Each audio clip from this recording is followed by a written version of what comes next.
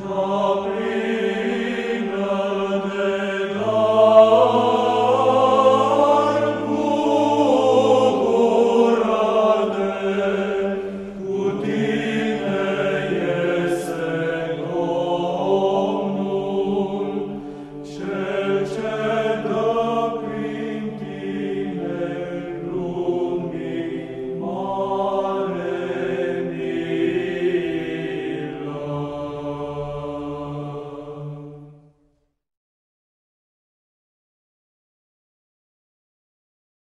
Doamnelor și domnilor, mă bucur să ne revedem aici, la Ferestre către Suflet, o emisiune realizată de TLM în colaborare cu Departamentul Doxologia Media al Mitropoliei Moldovei și Bucovinei. Sunt preotul Andrei Tudori și sper că și astăzi veți rămâne alături de noi la această emisiune de suflet și pentru suflet și cred că subiectul uh, pe care vi-l propun astăzi vă va atrage atenția. Uh, am intitulat uh, emisiunea de astăzi Creștinul, cetățean al statului, chemat la moștenirea raiului. E un subiect cât se poate de interesant, intrigant chiar pe alături și vom încerca să-i, să-i, să-i dezlușim tainele alături de invitatul nostru de astăzi. Este vorba de Părintele Diacon Lector Dr. Cătălin Vatamanu, de la Facultatea de Teologie Ortodoxă Dumitru Stăniloae din Iași. Părinte, bine ați revenit la Ferestre către Suflet. Vă mulțumesc foarte mult pentru invitație și mă bucur să fiu din nou alături de telespectatorii TLM. E o bucurie să vă avem alături, Părinte Diacon, și cu siguranță discuția noastră de astăzi va fi una cât se poate de interesantă, mai ales că subiectul este intrigant, așa cum, cum spuneam la început. Ce părere aveți? Cum vi se pare? E un subiect de mare actualitate și cred că e foarte important că teologia este contextualizată și că nu rămâne doar, știu eu, un domeniu, într-un spațiu academic, doar un domeniu al bibliotecilor, doar un domeniu care ar putea fi speculat, ci este un domeniu profund ancorat în realitățile noastre contemporane, în, în ceea ce trăiesc cu adevărat oamenii, nu doar de la noi din țară, ci oamenii de pretutindeni și de aceea cred că statutul omului de cetățean al statului sau cetățean uh, al Europei, de ce nu și de cetățean al Împărăției lui Dumnezeu, este un statut care uh, ar putea fi înțeles, așa cum bine spune, spuneți, dintr-o perspectivă oarecum tensionantă sau oarecum da. asta aș vrea, să, asta aș vrea să, să dezbatem până la urmă. Există o tensiune între cele două uh, feluri de a fi, să zicem, de fapt un fel de a fi și o chemare, mai degrabă spus, uh, pentru cea de a doua, dar vă spun de la început că am, am pornit cu ideea acestei emisiuni de la, de la un citat pe, din epistola către Diognet, o epistolă uh, îndelung citată în teologia uh, ortodoxă, fiind din primele secole creștine, în care se spune, citez, creștinii locuiesc pe pământ, dar sunt cetățeni ai cerului.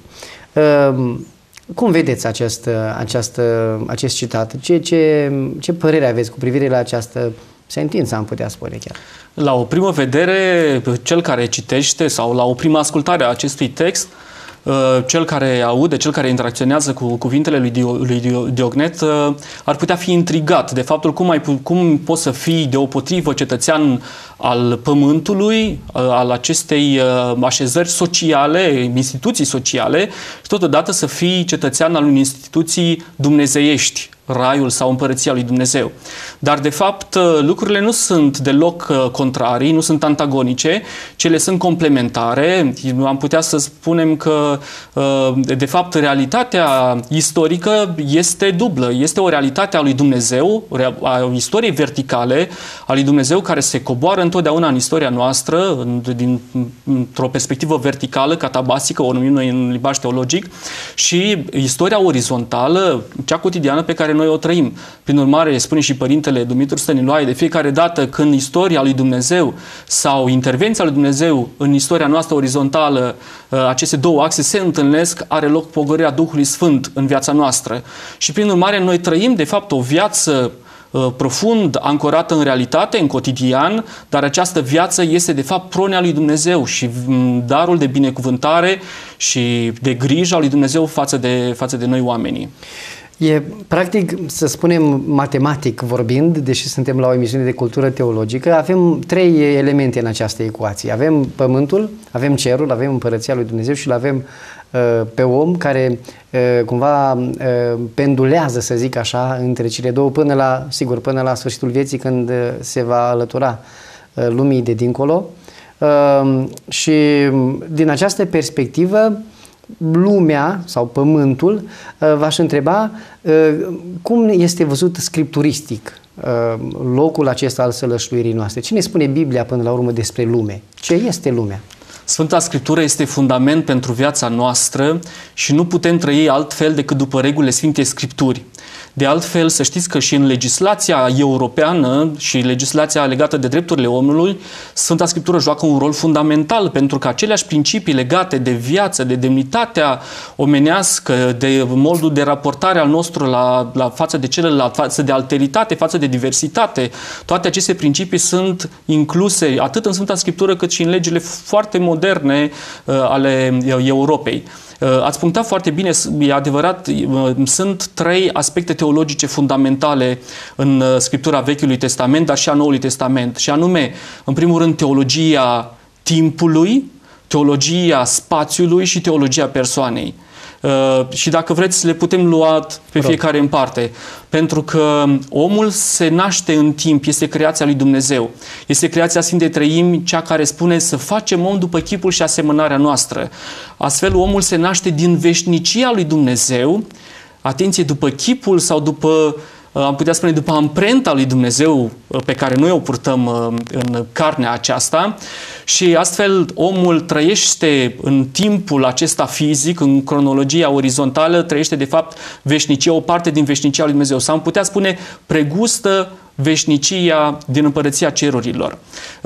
omul care trăiește experiența adamică în rai este omul care este creat spre desăvârșire, spre veșnicie.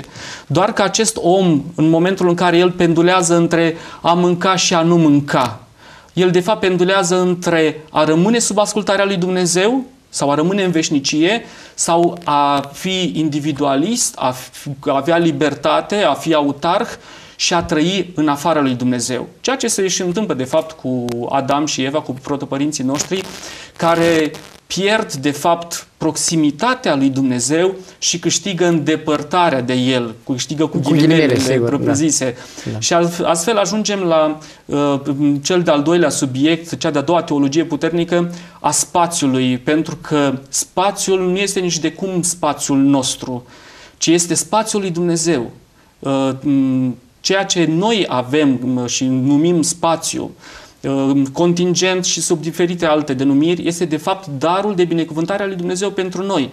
Pentru că ceea ce avem cu adevărat, așa cum bine ați spus uh, din, citând uh, epistola lui Diognet, ceea ce avem cu adevărat și trebuie să moștenim este împărăția cerurilor. Și dacă îmi permiteți, am să aduc un alt citat al Sfântului Clement al Alexandrei, care spune creștinii locuiesc în țările în care s-au născut, dar ca străinii iau în parte la toate ca cetățeni, dar pe toate le rabdă ca străini. Orice țară străină le este patrie și orice țară le este străină. Arătând faptul Clement Alexandrinu că într-adevăr omul este străin pe acest pământ și uh, cu adevărat este acasă în împărăția lui Dumnezeu.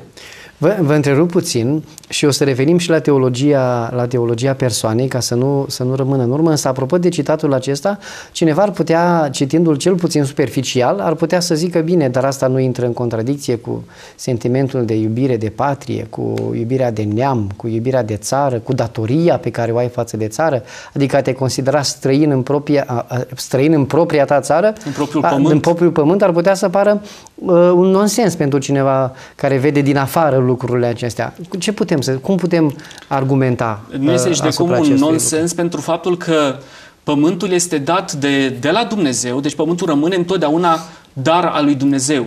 Dar el este luat și ca o responsabilitate pentru om. De aceea omul este pus de la început împărat, rege, domnitor peste pământ, peste teritoriu, inclusiv în grădina paradisului. Dar după aceea, ieșind din paradis, el are ca responsabilitate lucrarea pământului, după cum vedem chiar din uh, blestemul dat asupra protopărinților uh, imediat după scoaterea lor din paradis să uh, în crească și să în sudarea frunții să lucreze pământul, cel care, din păcate, acum nu oferă altceva decât spin și pălămidă.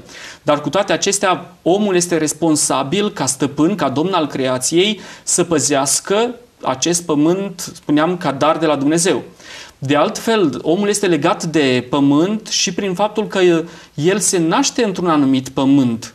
Uh, dacă vreți, extrapolând și ajungând în, în spațiul uh, bisericii, în experiența creștinului, creștinul este botezat într-o biserică, acolo primește uh, cele trei taine de inițiere în creștinism, botezul, taina mirungerii și Sfânta Euharistie. În biserică el se cunună, în biserică trăiește cu adevărat experiența binecuvântării lui Dumnezeu sub diferitele, sub lucrarea diferitelor taine și erurgii. În biserică, dacă vreți, își regăsește strămoșii care au trecut la cele veșnice. Pentru că biserica este spațiul întâlnirii uh, comunității celei vii și a celei biruitoare a, a celor care au, uh, au trecut, au, din, lumea au trecut din lumea aceasta în, cu o viață de binecuvântare, de slăvirea lui Dumnezeu. Astfel, noi suntem legați atât de împărăția cerurilor care este veșnică și este spațiul pe care spațiul teologic, dar totodată de, foarte concret, foarte real pe care ne-l dorim, cât și uh, împărăția lui Dumnezeu sub forma uh, iconică ce este parohia astăzi. Pentru că noi trăim în parohie, în biserică, în forma contingentă a bisericii și a parohiei, trăim de fapt realitatea spațiului nețărmurit și al timpului nețărmurit care este Dumnezeu. Gustăm puțin, suntem în antecameră, dacă exact. putem spune așa. Um, revenind la, la cea de-a treia mare teologie de care spuneați, pe care o putem regăsi în Sfânta Scriptură, anume teologia uh, persoanei. Uh, care ar fi valențele acestei teologii cu privire la subiectul discuției noastre de astăzi, creștinul ca și cetățean al statului și moștenitor al, al raiului? Teologia persoanei pleacă de la teologia Sfintei Trăimi. Pentru că spuneam la început, noi suntem icoana Sfintei Trăimi, suntem de fapt icoana celor trei persoane, Tatăl, Fiul și Duhul Sfânt, care sunt Dumnezeu unul, dar totodată comuniune de persoane. Prin urmare, identitatea omului este o identitate comunitară. Omul nu se poate mântui în izolare. Omul se poate mântui doar în eclesia, în adunare, în întâlnirea celuilalt. De asta Părintele Dumitru Săniloae din nou accentuează în lucrarea Iisus Hristos a restaurarea omului că doar în momentul în care îl vom cunoaște pe celălalt ca partener de dialog pentru mine, ca un tu, atunci vom putea să înțelegem și pe Dumnezeu ca un tu, partener de dialog. Altfel, rugăciunea nu și are sens în momentul în care nu îl înțelegi pe, pe Dumnezeu ca o persoană cu care poți comunica. Deci, așadar, dialogul este între persoane.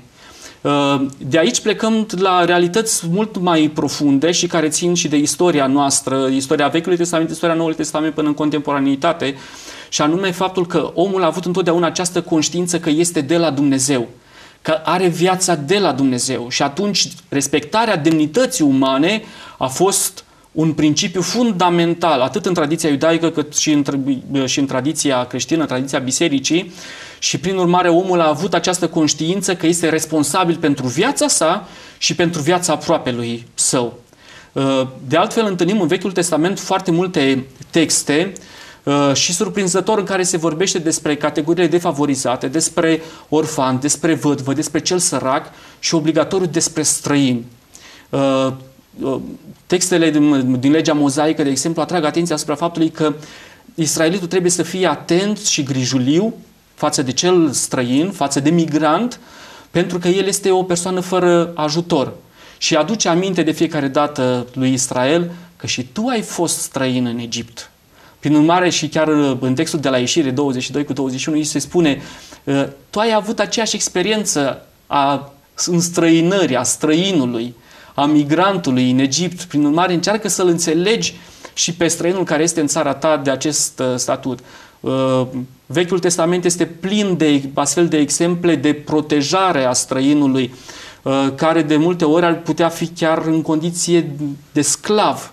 Dar iată că legea mozaică, de exemplu, prevedea ca um, ziua de sabat um, să fie respectată de toată lumea, inclusiv de, de rob, de cel care era străin în casa aceluia.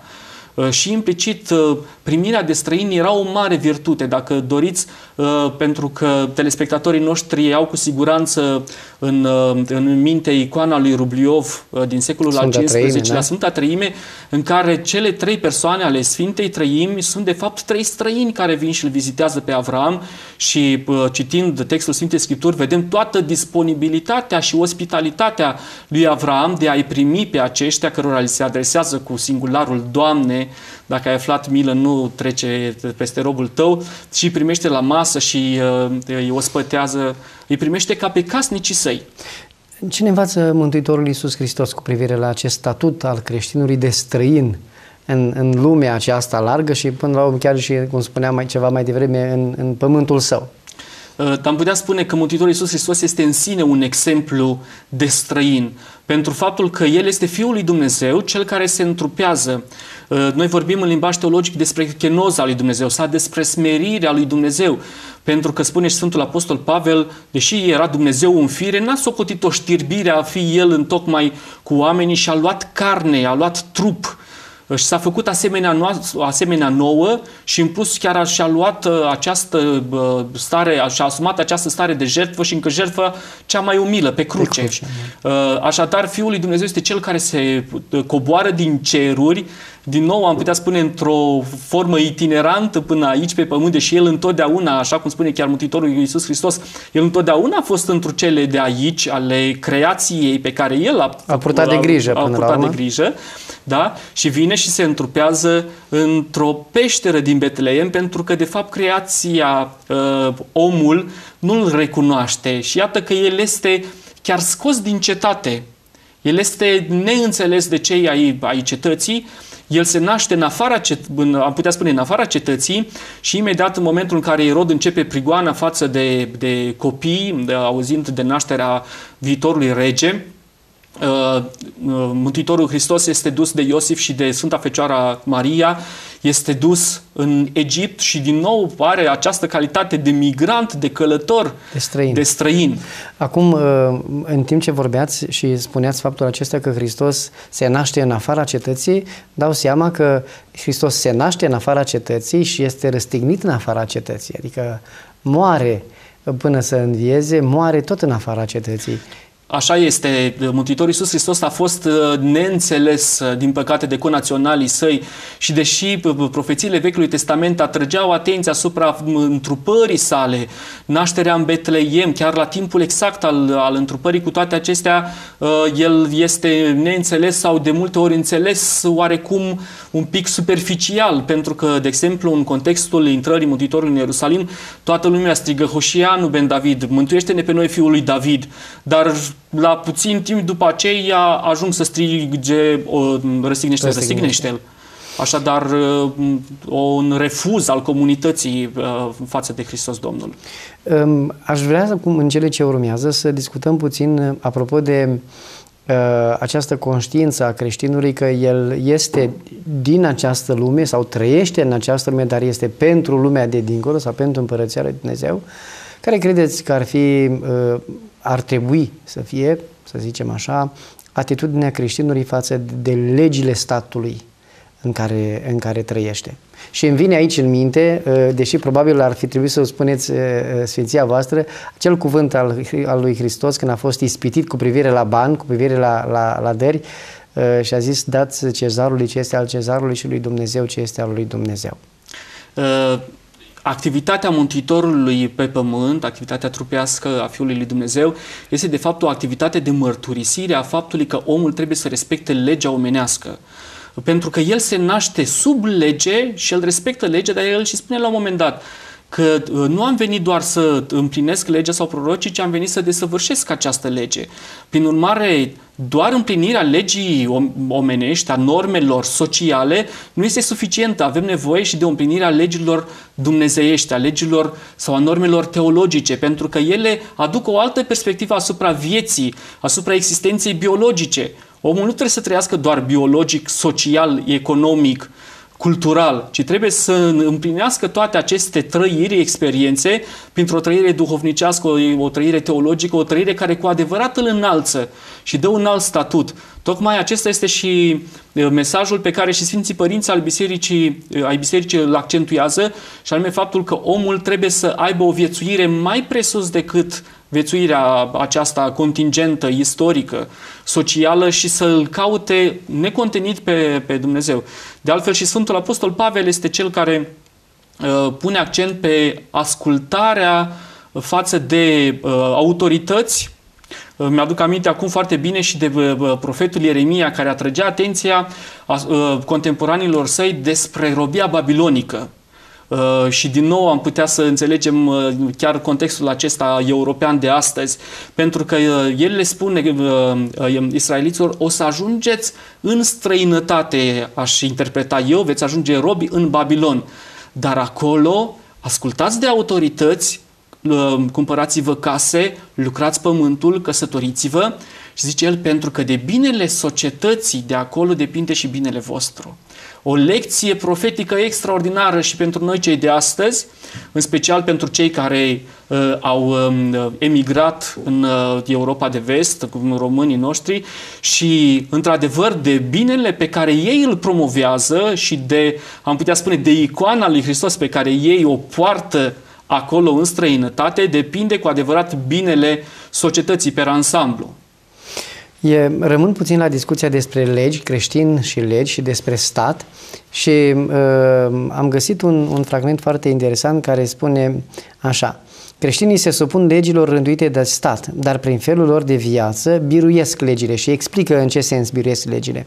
Ce frumos, adică se supun legilor omenești, legilor statului, dar prin modul lor de viață sunt mai presus de ele, iar aceast, acesta constituie statul ideal, în care legile rămân nelucrătoare, pentru că nu există călcători de lege. Și e și scripturistic lucrul acesta când spune că uh, uh, legea este pentru păcat uh, pe, făcută sau pentru călcătorul de lege este legea făcută, nu pentru cel care o primește sau care trăiește mai presus de lege, nu în sensul în care zicem noi astăzi, că știți, e și sensul ăsta peorativ, că spui că e mai presus de lege cel mai adesea, ci în sensul în care prin viața ta nu ai nevoie de o lege care să, să-ți reglementeze uh, modul tău de, modul tău de trăire nu aș vrea să fiu redundant, dar mă întorc la, la istoria paradisiacă, la experiența din Rai, pentru că cu, aceast, cu adevărat aceasta este starea naturală a omului, de sălășuire a omului în proximitatea lui Dumnezeu, fără garduri sau știu eu ziduri care să ne constrângă, să ne limiteze,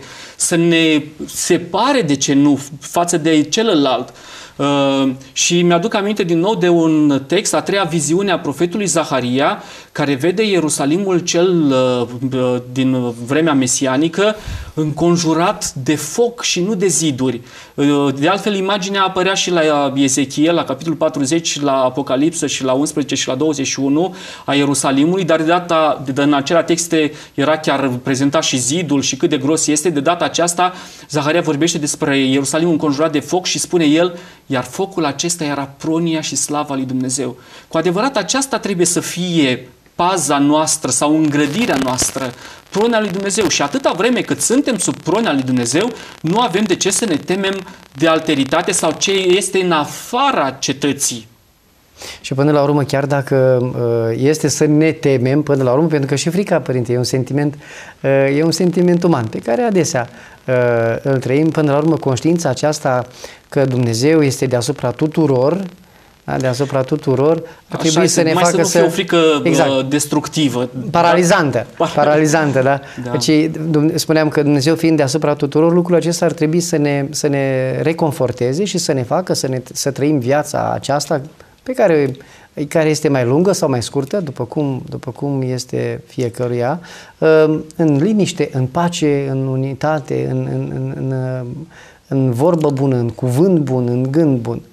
Uh, e adevărat că trăim sau ne dorim să trăim cu această nădejde și cu această credință că Dumnezeu ne proniază și nimic rău nu se va întâmpla cu noi. Dar lucrurile acestea, precum și în teologia Vechiului Testament și a Noului Testament, sunt puse într-o relație de legământ. Doar în momentul în care și noi răspundem acestei pronii și acestei iubiri milostive a lui Dumnezeu. Pentru că Dumnezeu ne iubește, dar totodată Dumnezeu este și, și Dumnezeu al dreptății. Și uh, sancționează atunci când noi săvârșim păcatul, săvârșim patima sau când ne, ne încredem prea mult și adeseori sub o formă magică uh, în puterea lui Dumnezeu. Aș da din nou exemplul comunității israelite în perioada lui Ieremia, care spunea tot timpul, susținea că nu se va întâmpla nimic cu noi atâta vreme cât este slava lui Dumnezeu în Ierusalim.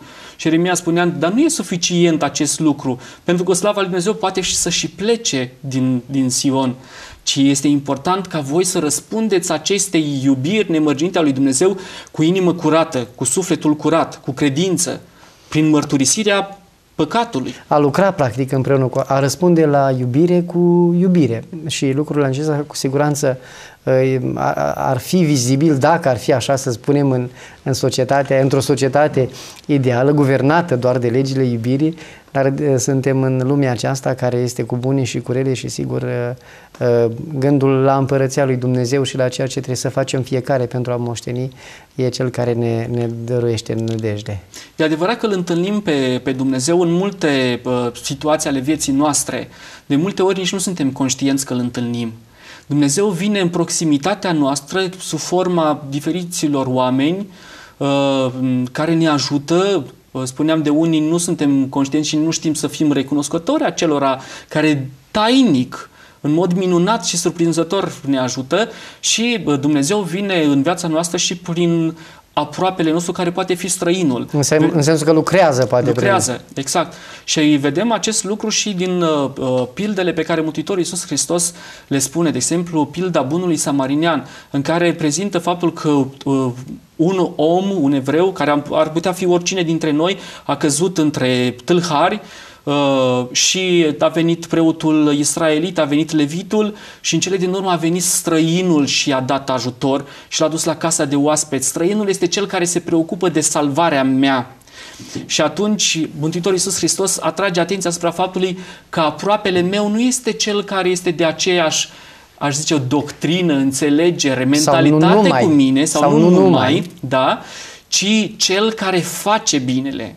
Așadar, totul ține de practică, de, de folosirea virtuții și nu doar de cunoașterea ei. Dacă vreți o altă uh, parabolă grăitoare este cea a vameșului și a fariseului. Uh, de data aceasta avem de a face cu doi, două persoane uh, care ar putea fi de aceeași naționalitate, deși de multe ori vameșii erau recrutați dintre romani. Dar de stări diferite. Dar de, de stări diferite. Fariseul am putea spune că este cel de acasă în ceea ce privește pregătirea teologică. El îl cunoaște pe Dumnezeu precum un casnic, uh, a lui Dumnezeu, pe când Vameșul am putea spune că este mai străin de cele uh, teologice, de discursul teologic. Cu toate acestea, Vameșul este cel care îngenunchează în, în templu, în fața lui Dumnezeu, se bate cu pumnul în pier și spune Dumnezeule milostivi mie păcătosului. Și spune Mântuitorul Iisus Hristos că acesta s-a întors mai îndreptat la casa sa. Părinte, ă, păstrăm ca și concluzie acest gând, acest cuvânt frumos cu privire la, la vameșul acela și sperăm fiecare dintre noi să, să plecăm mai îndreptați la casele noastre în fiecare clip a vieții noastre și ă, vă mulțumesc că ați fost la Fereste Către Suflet și la această ediție și vă aștept cu drag și cu alte ocazii. Vă mulțumesc foarte mult! Doamnelor și domnilor, invitatul nostru de astăzi a fost Părintele Diacon, lector dr. Cătălin Vatamanu, de la Facultatea de Teologie Ortodoxă Dumitru Stăniloae din Iași. Sunt preotul Andrei Atudori și până la o nouă revedere la ferestre către suflet, vă doresc spor în toate cele bune. Amin.